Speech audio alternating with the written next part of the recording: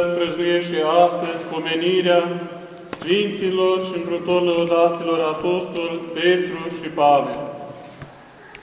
Cel din tăi pe scaun șezător și propovăduitor al Evangheliei lui Iisus Hristos. Cine dintre fiii bisericii noastre nu a auzit de numele lor? Cine nu a auzit cât de puțin despre viața lor? Cine nu s-a îndulcit de învățăturile lor cele pline de înțelesul tuturor și toate cele auzite de propovăduite de în Sfânta Biserică. Însă a vorbit după vrednicie despre Sfinții Apostoli Petru și Pavel, acești mari stâlpi ai Bisericii lui Hristos, este cu neputință pentru noi păcătoși. Deoarece numai Dumnezeu știe ostenelile, chinuirile și nevoințele pe care au răbdat Sfinții la propovăduirea Evangheliei lui Iisus Hristos. Iubiți credincioși, Sfântul Apostol Petru, la o drăschită Betsaida Galilei, fiind pescar, și fratele mai mic al lui Andrei, fii al lui Iona pescar. Adâncurile învățăturilor omenești, neavând de la cine a învățat, decât de Simon Petru, numai cu taică să în corabii la piscuit pește. Căci așa se chemau înainte de alegerea sa, rămas fiu credincios al tatălui său, care l-a deprins de mic, să meargă pe malul lacului Tiberiada, acolo să-și câștige pâinea sa cea de toate zilele, trudindu-se zilnic și prinzând pește. Aici, pe malul Tiberiadei, s-a născut, aici a copilărit, aici a crescut Sfântul Apostol Petru. Aici a deprins el meșteșugul pescuitului, aici a învățat el a bădi, a văsli pe mal, aici a cărmuit corabia și a înfruntat furtunile cele aprice, aici a aruncat undița și luntrea în apă pentru a se osteni și a pescui pești. Căsătorindu-se mai târziu și auzind de Sfântul Apostol, de Sfântul Ioan Propovăduitorul, care propovăduiește despre Mesia cel adevărat, a primit de la el împreună cu Andrei, fratele său, botezul pocăinței în apele Iordanului. Neștiind că aproape de casa sa în cetatea Nazaretului locuiește acela care avea să-i fie dascăl și învățătorul său. Și iată că vine Hristos cel mult așteptat.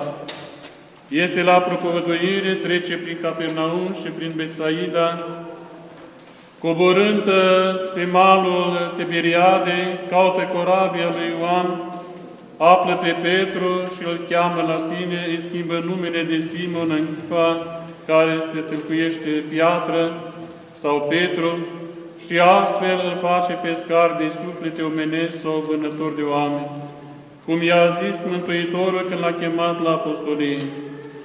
Din ceasul acela, Petru, apostolul, își lasă casa, soția, își lasă patria și corabia în voia Tatălui, să se alătură lui Hristos și devine cel mai rânditor apostol dintre apostoli. La picioarele Domnului nostru Iisus Hristos a învățat Petru adâncul teologiei. Aici a auzit cuvintele nemai grăite vreodată de om. A văzut minuni nemai auzite pe pământ. A simțit bucurii nemai cunoscute până atunci de muritor. Din aceste pricini, Petru a crezut că Iisus este Hristos, Fiul lui Dumnezeu cel viu, după cum spune Evanghelistul Matei, capitolul 16, versetul 16, pe care, mărturisindu-l, a primit de la el cheile împărăției cerurilor, adică predarea de a lega și a dezlega păcatele oamenilor. Cu rânduiala lui Dumnezeu a fost lăsat să se lepede de Hristos de trei ori, în vremea pătimirii sale, din trei pricini pentru a se smeri mai mult, pentru a plânge mai mult cu amar în toată viața sa și pentru a avea mai multă milă față de cei păcătoși.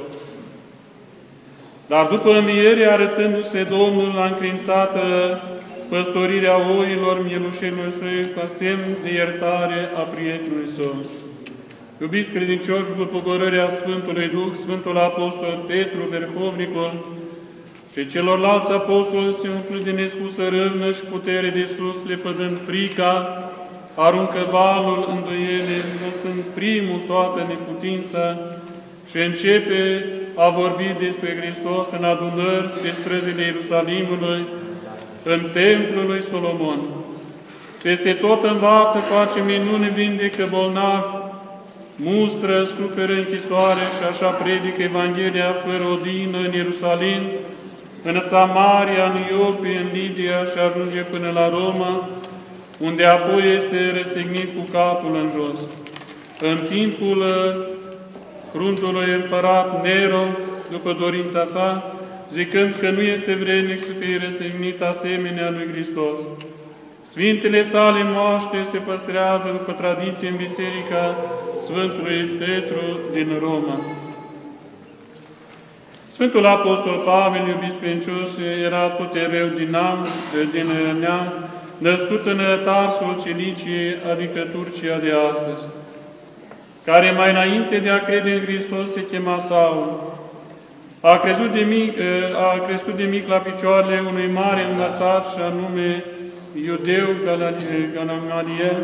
De la el a învățat Pavel adâncul teologiei tălcuirea prorocilor, puterea legii lui Moise, psalmii lui David, sfințenia templului pe care era plin de atâta râvnă pentru acestea.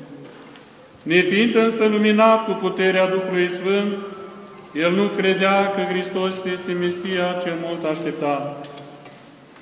Nu putea înțelege taina răscumpărării omului, nu știa că Petru și ceilalți apostoli vor vena toată lumea în dreaptă credință și că nu peste multe zile va fi și el un apostol al neamurilor împreună cu ceilalți 12.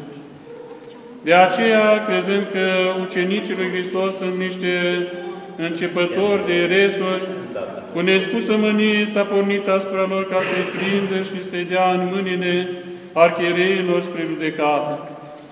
Pe calea Damascului însă îi se arătă în vedenie Iisus Hristos, îi spune greșeala lui, îl ridică sufletul până la al treilea cer, cum scrie în 2 Corinteni 12 cu 2, și îi descopere taina creștinătății și îi trimite la propovăduire să vestească Evanghelia la toate neamurile. În Damasc a primit botezul de la Sfântul Apostol Anania, Apoi a stat trei ani în pustiul Arabiei, pregătindu-se cu multe rugăciuni, cu post și cu lacrimi pentru noua sa misiune. Că singurătatea întotdeauna înalță pe urmă, pregătește pentru jertfe, îl învață taina rugăciunii cele adevărat. De aici Sfântul Apostol Pavel s-a suit la Ierusalim să vadă pe Sfinții Apostoli, de unde a luat apoi poruncă să vestească Evanghelia începând din Antiohia.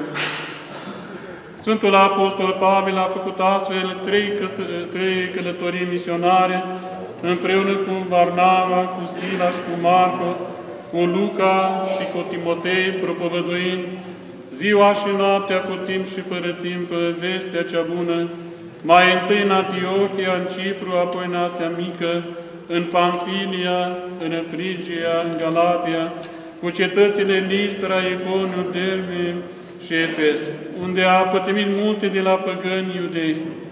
Apoi, îndemnat de Duhul Sfânt, a trecut în Macedonia și în Ahaia, propovăduind în cetățile Filipii, Derbe și Tesalonic, Corint și Atena de astăzi, unde a grăit de pe înălțimele Areopagului și uimind pe toți învățații vremii sale.